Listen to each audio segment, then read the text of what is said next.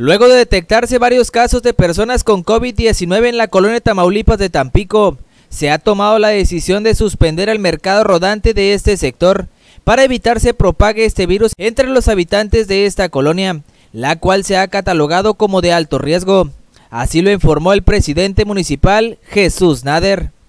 Eh, tenemos un caso, varios casos en la colonia Tamaulipas, ahí ya hemos suspendido lo que es el, el mercado rodante, ahorita de manera temporal.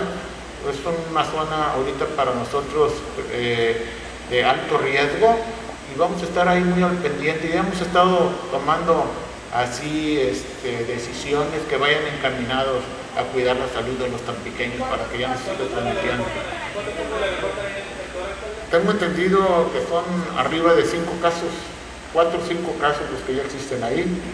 ¿Verdad? Aunque sean poquitos, pero hay que estar mejor precavidos y tomar las medidas precautorias, ¿verdad? Para que no se siga propagando, ¿verdad? Sobre todo en esa colonia que viven casas, casas pegaditas a otras casas. Destacó que se mantendrá en monitoreo esta colonia, así como los diversos sectores que pertenecen a este municipio, para detectar casos sospechosos, así como evitar incrementen estos hechos.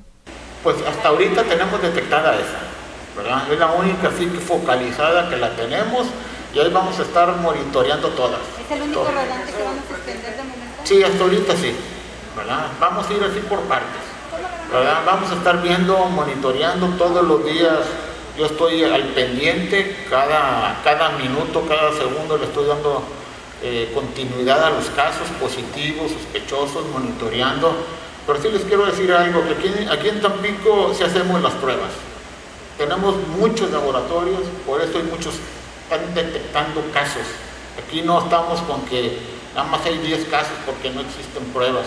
Aquí le estamos dando, rastreando los casos positivos, buscándolos para focalizarlos y ponerles mucha atención, sobre todo y ponerlos en cuarentena.